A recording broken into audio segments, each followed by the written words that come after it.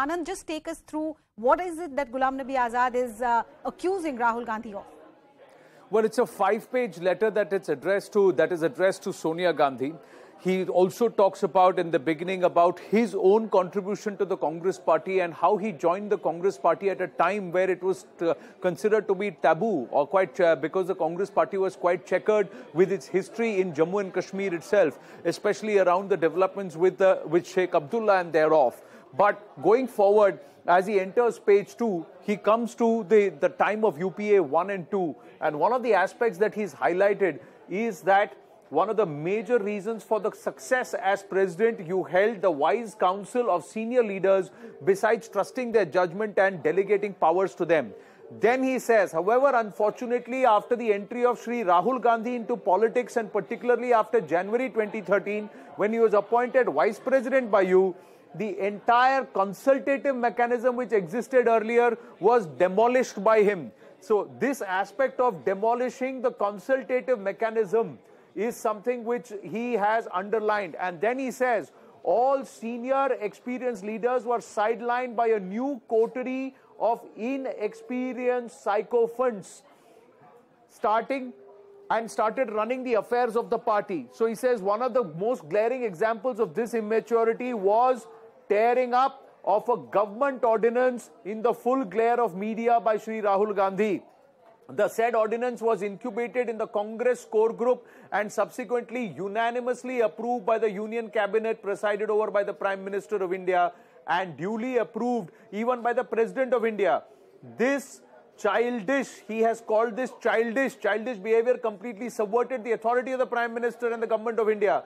This one single action, more than anything else, contributed significantly to the defeat of the UPA government in 2014. That was at the receiving end of a campaign of calumny and insinuation from a combination of forces of the right wing and certain unscrupulous corporate interests. So, this is where he has come out and gone ahead and laid into Rahul Gandhi itself and the transition on the nature of the Congress party itself. So, this is this is the uh, the page where and then it goes on further. As we go further to page number 3 he say you may recall that after you took over as congress president after dethroning sitaram kesari congress leadership met for a brainstorming in pachmarhi october 1998 subsequently there was another such session in shimla in 2003 and then again in 2013 i had the privilege of chairing the working group of organization affairs on all these three occasions however regrettably none of the recommendations of these three treats were ever properly implemented and he says, in fact, in January 2013, January 2013 at Jaipur,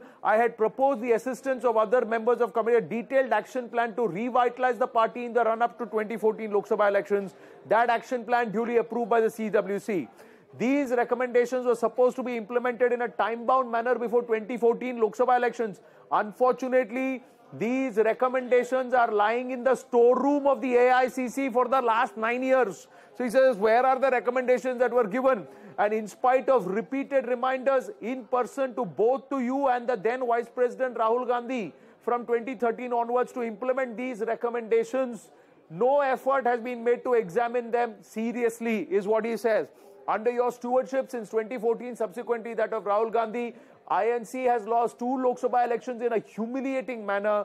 It has lost 39 out of 49 assembly elections held between 2014 and 2022. Party only won four state elections and was able to get into a coalition situation in six instances. Unfortunately, today, INC is ruling in only two states and is a very marginal coalition partner in two other states.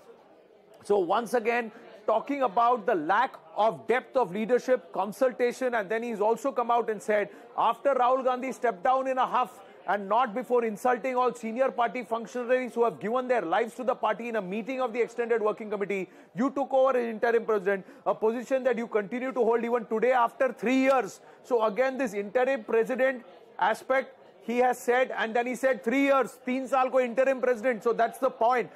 Worse still, the remote control model that demolished the institutional integrity of the UPA government now got applied to the Indian National Congress.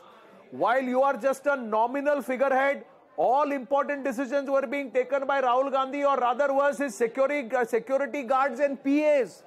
This, this is huge Forget the childish and all that the jibes. He's saying Congress is running on a remote control model. This is what he says remote control model now applied to INC and important decisions being taken by Rahul Gandhi or rather was security guards and PAs.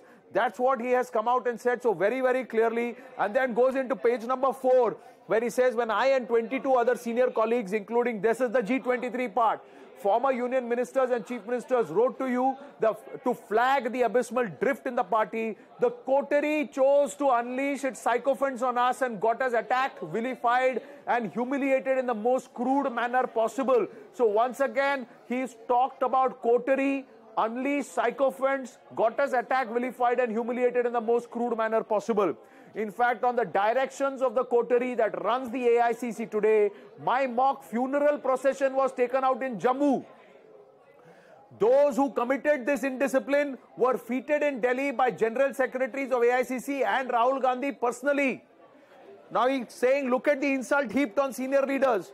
Subsequently, same coterie, again he uses the word coterie, unleashed its gundas to physically attack the residence of a former ministerial colleague Sri Kapil Sibal, who incidentally was defending you and your kin in the courts of law for your alleged attacks of omission and commission.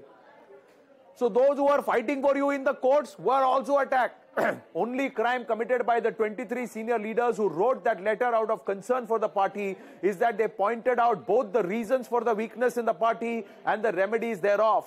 Unfortunately, instead of taking those views on board in a constructive and cooperative manner, we were abused humiliated, insulted, and vilified in a specially summoned meeting of the extended CWC meeting. So clearly, the senior leader, 73 year old, has come out and said that the situation in the Congress party has reached a point of no return.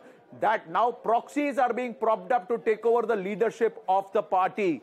So he has really, really laid into Rahul Gandhi and that entire coterie, calling them security guards and PAs who are actually calling the shots and that this party is running out as a remote control. And they're saying has point of no return because proxies are being propped up to take over leadership of the party. And there is so much more that he has now uh, put out there in that five-page letter. Arunima. Anand, thank you so much uh, for getting us uh, details of what Ghulam Nabi Azad has said in that resignation letter addressed uh, to Sonia Gandhi, talking about Rahul Gandhi being one of the reasons why the senior leaders of the party are feeling suffocated. Pallavi Ghosh